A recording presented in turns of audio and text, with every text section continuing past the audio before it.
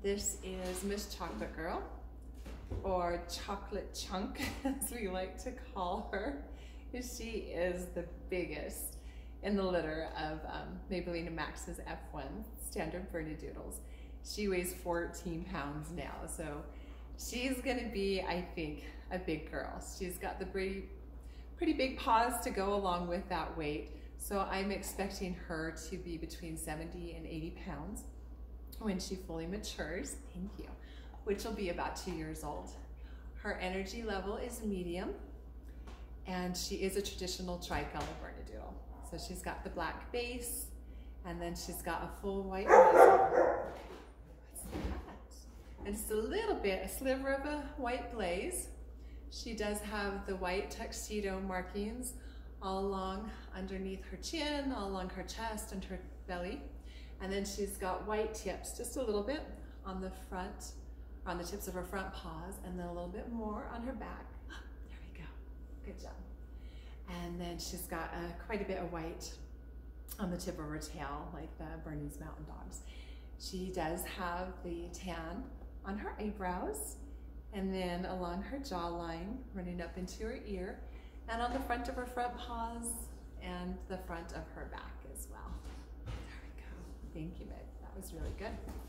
Her coat is um, very, very loose wave right now. I'm expecting that that will wave up just a little bit more. So she might end up with some really light loose curls if her coat is allowed to continue to keep growing and it stays brushed out. So I always describe that as kind of like a wave, you know, just cresting over.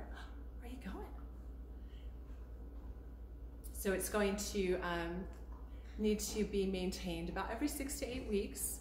Again, just depending on what you're trying to do. If you're trying to keep her coat long, it's definitely going to be more maintenance than if um, she's getting shaved down. She will need to be brushed regularly to be able to keep those mats out. This girl has been so much fun to work with. Um, when we did what we call the box game, that's part of one of the puppy culture protocols. So what I'm ultimately trying to do is get the puppies to, on their own, put all four paws on top of a box lid and they'll get treated for that. But as they work towards that, I will treat them for anything along with it. I'll click and treat. The clicker's the marker. Click and treat to let them know that they're getting close. It's almost kind of like playing, you know, the hot and cold game. Well, this girl, the first time I did it, and I never expect to get the first time, uh, she just immediately, it's like she figured out, oh, it's something to do with the box. It's something around here. And so she went and she just stood, all four paws on it. And I thought at first, you know, sometimes it happens that they just accidentally do. But as she, I, I got her to get off, and then she immediately went back over and stood again on it. And second session, same thing. She just knew immediately that that's what I wanted and figured it out. So I've had to work with her a little bit more than some of her siblings because she's just ready. She's ready to learn. Um, she just picks it up a little bit faster and, and a lot of that, you know, they're at different developmental stages, even though they're the same age, they're at different stages. And you can see she's wanting, you know, she's the only one of the puppies that while I'm doing this is wanting to get down. This girl actively seeks. She is totally okay to go off by herself. She loves exploring. She loves to check things out. And she really is a super explorer. I've always had some puppies in the litter that like to explore, but like for her, it's almost a must. She definitely wants to be able to see what's in her surroundings and what's going on very often before she can um, totally settle down and be content. So it's something that I'm working with her on because that's obviously not something she's going to be able to do all the time.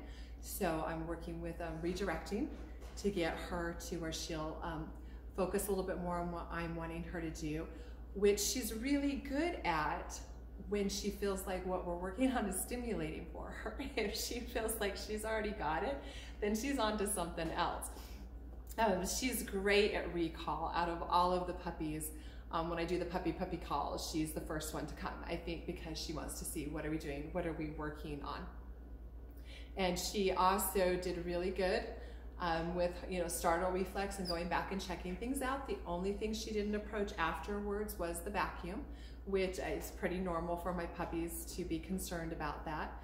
Uh, the one thing that she does do, one of the behaviors that we're working on is she's very um, When she takes treats, she does not have what I would call a soft mouth.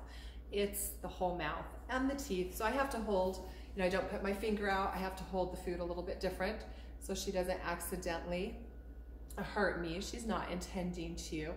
But um, with that, she definitely would not do good in a home with little people and then also because she's just so busy and wants to see everything. Uh, children would need to be at least 10 years old so that they would understand about keeping everything picked up a little bit better and um, you know not encouraging her in some of the behaviors that we're trying to work with her on. Yes. She um, did great on, with her physical, no problems there. Everything was normal. And she also enjoys our visiting our other dogs and our other animals here on the farm.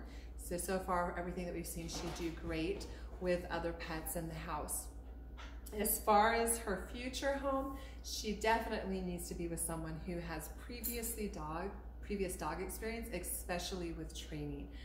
This is a girl who will walk all over you um, if you don't know what you're doing. That doesn't mean you have to be an expert in it, but you just need to understand dog behavior and understand what's um, you know normal and how to help shape her basically and the way that you want her to go. Because again, you know, you, you could try dominance with her and, and it would probably work for a little while, but she's not going to be happy and ultimately you're not going to be happy because she's going to find ways to work around that.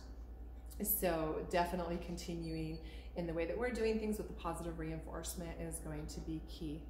And I think you're just hot. Yeah, I think that's what it is. They were just outside running around when I brought her in. I think she needed to get a drink first. That's what it is. So and just learning stuff like that, where the other puppies would be content to just sit and wait. This girl's like, no, I am thirsty. I need to go get a drink.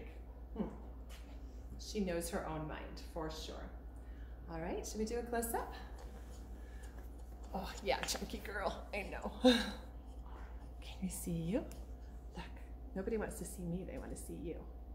Yeah, there you are.